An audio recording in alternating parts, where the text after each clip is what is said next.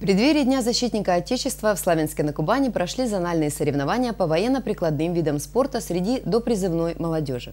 «Служить России суждено тебе и мне». В них впервые приняли участие военнослужащие воинской части номер 25356. Удалось ли солдатам-срочникам обыграть будущих новобранцев, узнали наши корреспонденты.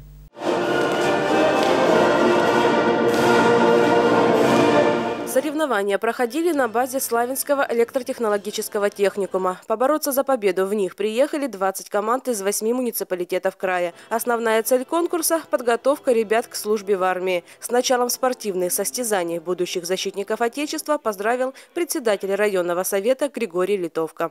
Вы должны помнить, что эти соревнования проходят год 75-летия освобождения Кубани от немецко-фашистских захватчиков и в преддверии праздника Дня защитника Отечества. Я хочу выразить вам слова благодарности, что вы занимаетесь такими мужественными военно-прикладными видами спорта. Уверен, что из вас вырастут настоящие защитники Отечества. И эти соревнования – это дань памяти наших дедов и прадедов, которые отдали жизнь за наше светлое будущее.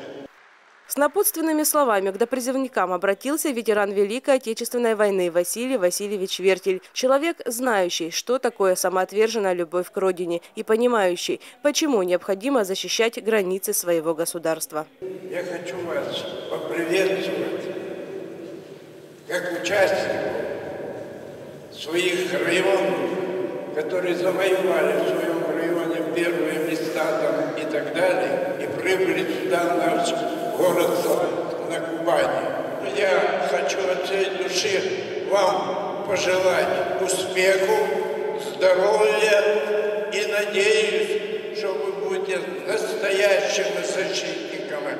А это сто процентов уверен. Наши ребята, все, которые сейчас отслужили, которые охраняют наше государство, которые будут охранять. Мы знаем, что они достойные, оправдают своего доверия. После всех напутственных слов перед участниками турнира с показательным номером выступили воспитанники поста номер один Тимошевского района.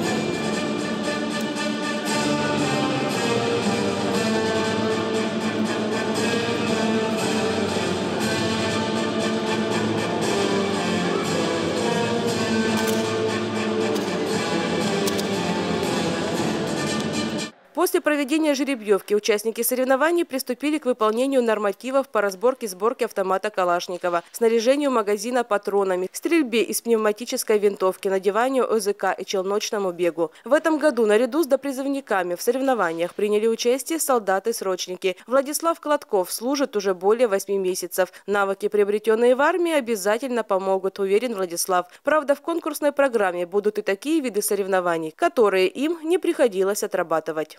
Бег, э, зарядка каждый день, автомат разбираем, да, конечно. А, магазин собираем, разряжаем, это да. А вот тоже ОЗК одеваем. А вот, например, всякие эстафеты, вот это вот.